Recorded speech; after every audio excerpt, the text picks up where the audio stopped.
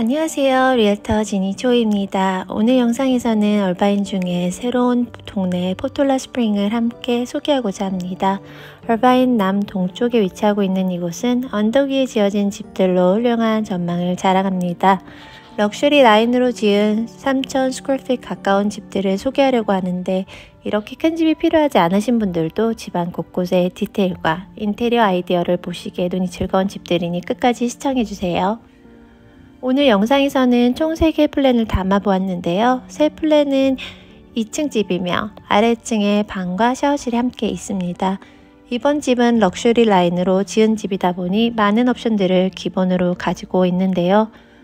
철판이 있는 스토브, 두 개로 나누어져 있는 오븐, 항상 baking할 때 오븐 사이즈가 너무 커서 작은 오븐을 사용하시는 분들이 많으신데요.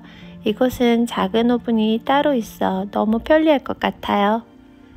모든 캐비넷들은 soft close 캐비넷들로 열고 닫을 때 소리가 나지 않습니다. 그리고 빠질 수 없는 luxury의 기본으로 built-in 냉장고가 있습니다.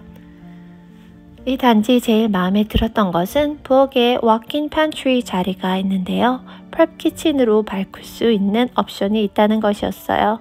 아무래도 open floor plan의 단점이 음식할 때 팬을 켜도 음식 냄새가 집안에 나기 마련인데 prep kitchen은 냄새도 차단하고 큰 손님을 치르실 때 훌륭한 공간이 아닐까 싶습니다.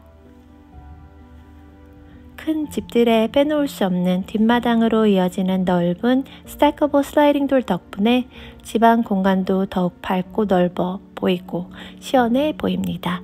기본 옵션으로 1층은 vinyl plank 바닥이 주어지며 부엌, 벽, backsplash 그리고 solar panel까지 함께 가격에 포함되어 있습니다.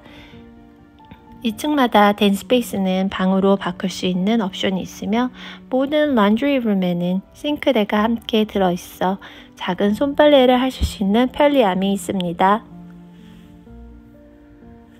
커뮤니티 안에는 멋진 전망을 즐길 수 있는 공원과 수영장, 농구 코트 등이 지어질 계획입니다.